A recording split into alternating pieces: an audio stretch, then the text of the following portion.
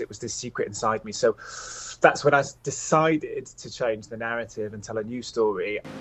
Whatever stereotype you're going to try to put on me isn't going to fit. That's for sure. Because there's no stopping me. Ask your healthcare provider if Biktarvy is right for you. And visit Biktarvy.com to view the important facts, including important warnings. Welcome to Plus Talk on Plus Life, where we're all about turning positive into a plus. And my guest today has been doing that on the small screen and more recently on stage. Joining me today, Nathaniel Hall from Manchester. Hey, Nathaniel.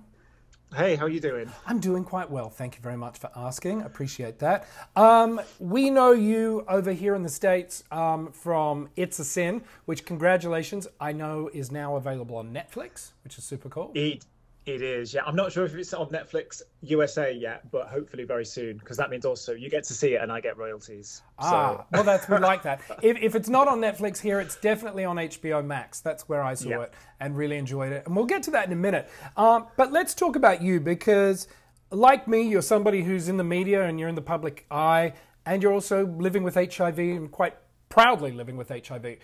When did you decide that you were ready to be open and public and honest, not just sort of within friends and family, but essentially the world? And what drove you to do it?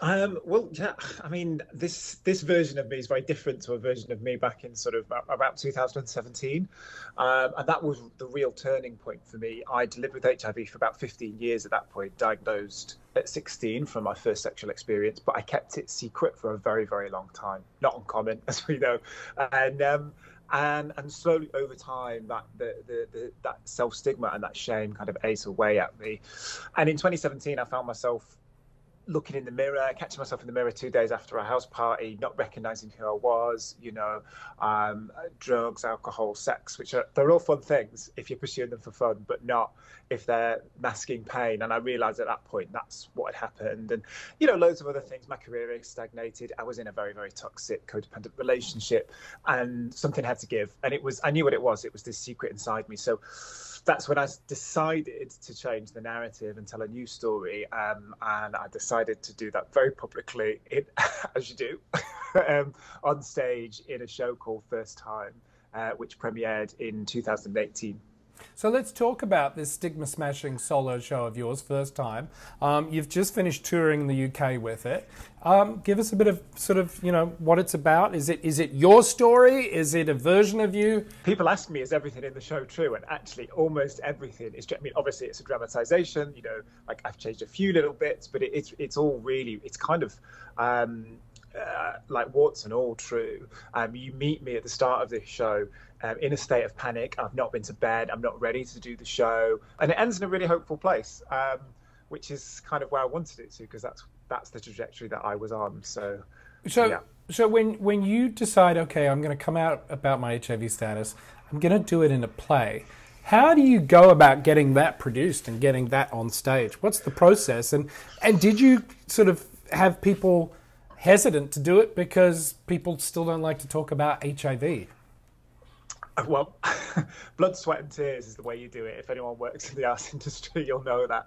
Um, I told I, I run a, a theatre company which was in its infancy back then, but um, my friend Chris Hoyle, who's a co-artist director with me, um, he knew my story and i just said to him one night as all good ideas happen and i just said i want to tell my story i'm ready and he was just like i want to do it with you and it was amazing to have him all the way through as a friend and you know and as a as a colleague to support me through that. We we started doing some i started doing some writing i was doing scratch nights you know i've got a drag alter ego called sue from sexual health um, who kind of i was workshopping at scratch nights and and, and on stand up nights and then and then you know once I felt ready, I saw an, I saw an opportunity for some money um, at a theatre in South Manchester, and um, I I applied, and and they they loved the idea. It premiered in 2018. It went really well, um, but also a lot of people found out about it because my story hit the headlines, and we weren't quite expecting that. It was the run up to World AIDS Day, and and and BuzzFeed News did an incredible article, and then that kind of snowballed and then there was BBC News and then I was on the breakfast couch you know and kind of daytime TV and all this stuff so there was all these cameras and uh, around the theatre and around that moment as well which was kind kind of a lot to deal with yeah well but great PR and I think something like over 70,000 people have now seen the piece um, just talking about that, about suddenly you're in the spotlight and you're on the couch at, you know, uh, at Good Morning Britain and all of the BBC Breakfast and things like that. And no doubt people are asking you, you know, or telling you how courageous you are for sharing your story. As a man living with HIV, do you ever think it sucks that I have to be called, you know, sort of having courage in this day and age for talking about this? Yeah, I, I do, and I, I always say, like, I still feel like a kid from Stockport. Like, you know, I still feel like the kids that were 16, you know, and and you know, we, that thing happened to me. It's just a thing that happened. It's not like a, a remarkable story, uh, and I do. Yeah, you, you sort of, if particularly if you talk about your story publicly, you're you're on a pedestal, and you know you are a role model to people and, and that's that's a real honor and a privilege particularly for other people live with hiv and i have had lots of people message me um, you know thousands of people actually over the last few years. Um, and that's really humbling. Even if they haven't seen my show they've read my story or seen it on the telly and it's inspired them in some way to you know move towards being open. Because i mean it for me now living openly i can't believe i lived for so long not. Um, you know the the the the things, the damage that did to me psychologically, not being open and and not fighting through that stigma and shame, um, you know, is crazy. And I, I just want a world where everyone with HIV is comfortable to do that. You yeah. know.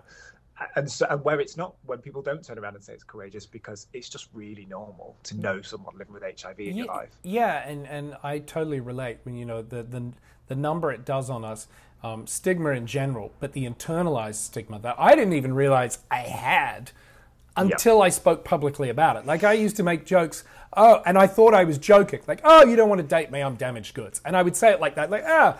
And I didn't realize that every time I said that, there was a little bit in the back of my head that actually filed it away as I believed it. And, and so it is, it's a very sort of cathartic experience. And, and speaking of that, the writing and the, I'm, I'm assuming that the writing and putting this together has got to be quite cathartic. So that the time comes when you stand on that stage to give the first performance are you really have you where are you at with your comfort level? Were you still absolutely shit scared? Or had you sort of had you sort of you know embraced what was going to happen because you'd been creating?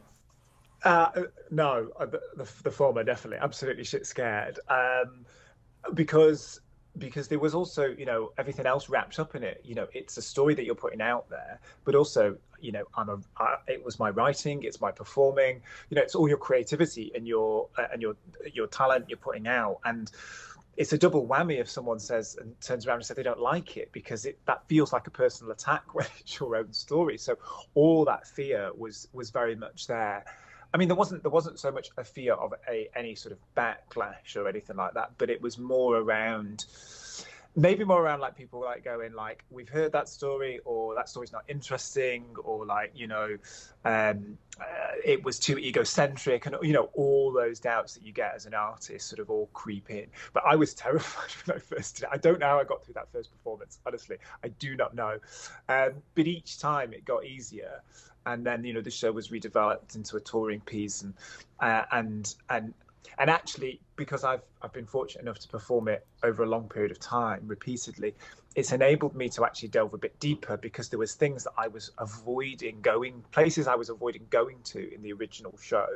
Um, and actually as the uh, as it moved on and I got more comfortable with my own story and my own past and it was processed I could really push down into the right into the root of it and with that performance particularly and, and go to a place that I couldn't previously which is which is really good yeah and look uh, the success has been fantastic and, and not just for yourself but really when you think about as you've said the the what it means to other people who are living with HIV. And as I often say, I refer to it as sort of standing in the shadows of life rather than out in the sunshine, um, and mm. are terrified to step into the sunshine. And all of this, of course, leads to um, "It's a Sin," which which is done phenomenal. I, you know, I'm trying to think like 11 BAFTA nominations. Yeah. Um, when that project comes along, how do you feel? What's the reaction to it for you? Well, I, I remember it was it was Russell T Davies, who's the writer, was he's he lives part time in Manchester, where I'm from.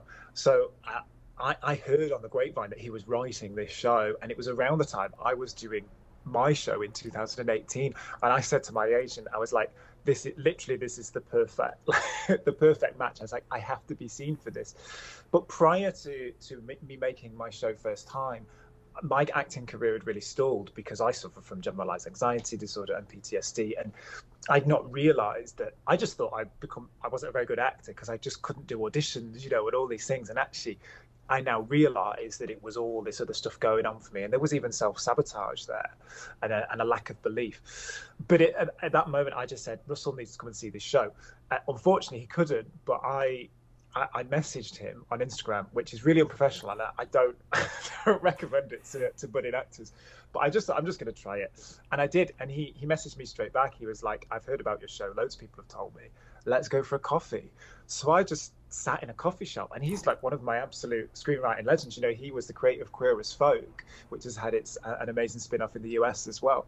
And I just sat there opposite, and he was like, he basically had a one person show. I want like I did it for him in, in a coffee shop, told him my story, and then he said, he said, well, you know, you're too young for the main character, too old for the main characters, but there may be a, a role in there for you with a bit of a glint in his eye, and walked off and then um, yeah, and the rest is history. You know, I got invited to audition. The producer came to see my show, and uh, it was it, for me it was amazing. And I think I've spoken to a lot of other people living with HIV who who said that actually without an actor living with HIV in the show, they may not have watched it or they yeah. may have switched off because for them, and I understand that there's a real uh, uh, a discomfort in our stories being capitalized on or whatever.